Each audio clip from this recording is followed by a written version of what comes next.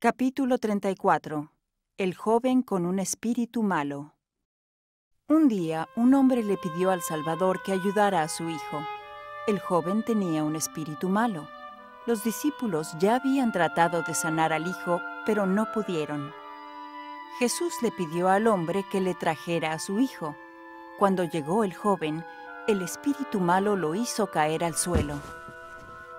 El Salvador preguntó cuánto tiempo había estado el espíritu malo en el joven. El padre dijo que desde que había sido niño.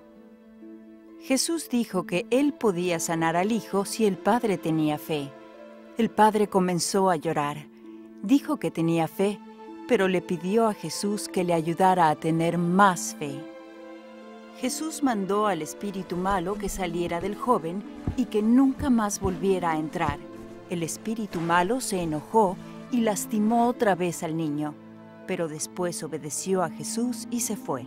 El joven estaba tan quieto que muchas personas pensaron que se había muerto, pero Jesús lo tomó de la mano y le ayudó a ponerse de pie. El joven quedó sanado. El espíritu malo se había ido.